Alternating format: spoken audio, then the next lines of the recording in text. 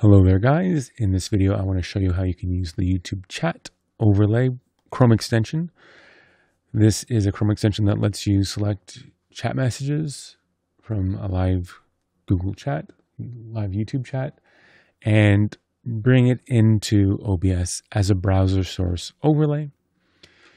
This Chrome extension, I will shout out uh, a couple of the developers who worked on uh, their own version. So I forked it, modified it, improved it so that it, with this version, it's a browser source extension you can add to OBS, a browser source. The previous versions, you had to do a window capture with a chroma key and it was much more clumsy. Okay. Uh, so right now, I don't have this added to the Chrome extension store, so we're just going to download it uh, to make our lives a little bit easier. We just download, we open we can then drag this folder to our desktop, right? Uh, I already have it extracted. We can now go to Chrome and click the top hamburger buttons, the three dots, and then we can go to more tools, extensions. I already have it installed, but I'll just unre I'll remove it for now. And then we want to add it, so we go to load unpacked extensions. We go to our desktop, we select the folder, you know, we select the folder that we just extracted and then we get the live chat overlay. Okay, now we go to YouTube and we find a live chat, we go to the top of the chat, we hit pop out. There we go. Now you'll notice here that we get this prompt. We want to copy and paste the, the, the text that we're given. Okay, we want to change that and yeah. Um, we'll be using this. Now with OBS, the idea is we want to add a browser source. We are going to drop in what we got here. We're going to add in a height, uh, let's say 1920 by 1920, and we're going to add a height, a width of 1920, and then a height of 250. Um, 250 is an important component of this. It doesn't matter the width, but the height definitely does matter. So now we have the, the, the overlay. It's this bottom little element.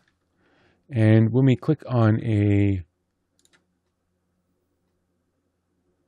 chat, we get the message popping up. Right, so that's kind of cool.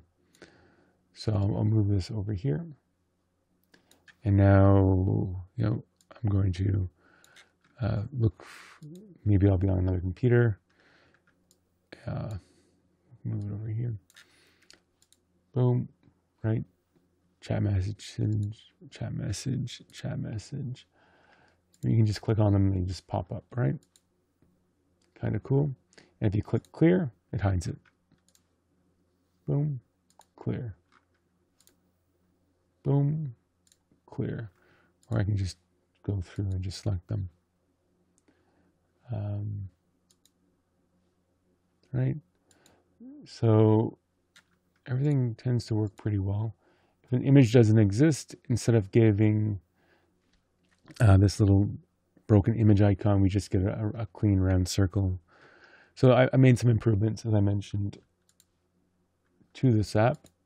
Um, and there you go. Now, if you want to customize things, there is a file. Uh, it's this one right here, index.html.